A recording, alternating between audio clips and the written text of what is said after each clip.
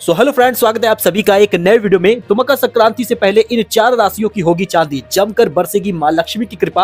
आपको तो पता हो ही गया होगा कि मकर संक्रांति कब है। वैसे नहीं पता तो आपको बता दे 15 जनवरी को मकर संक्रांति मनाया जाएगा, क्योंकि आपको बता दे 14 तारीख को रात आठ बजे के बाद मकर राशि में प्रवेश कर रहे हैं सूर्य देवता। तो मकर संक्रांति 15 तारीख को मनाया जाएगा। मंगल गोचर का असर कुछ राशियों के लिए काफ़ी अच्छा होगा। उन पर माँ लक्ष्मी की कृपा जमकर बरसेगी।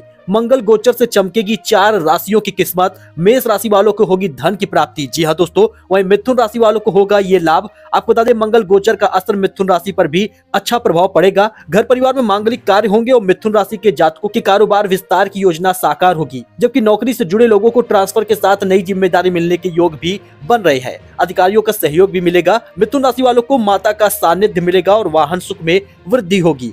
इसके साथ ही कर्क राशि वालों को मंगल गोचर का लाभ मिलने वाला है। वृद्धि की संभावना बताई जा रही है। आप बता दें, नौकरी करने वालों के अधिकारियों का सहयोग मिलेगा, परिश्रम का फल मिल सकता है। इसके साथ ही कर्क राशि के जातक आत्मविश्वास से लेवरेज रहेंगे और घर परिवार की सुख सुविधाओं का भी विस्तार होगा। वही तुला राशि वालों को नौकरी में परिवर्तन के योग दिख रहे हैं। तो मंगल गोचर में कुछ बड़े फ़ायदे दिख रहे हैं। उनको परिश्रम का अच्छा फल मिलेगा। तुला राशि के जातकों को धार्मिक कार्यों में शामिल होने का अवसर मिलेगा। तो इन चार राशियों को कई बड़े फ़ायदे मिलने वाले हैं। वैसे धन की प्राप्ति इन चारों राशियों को मिलने वाली है। तो मकर संक्रांति से पहले ही इन चार राशियों को ये लाभ मिलेगा।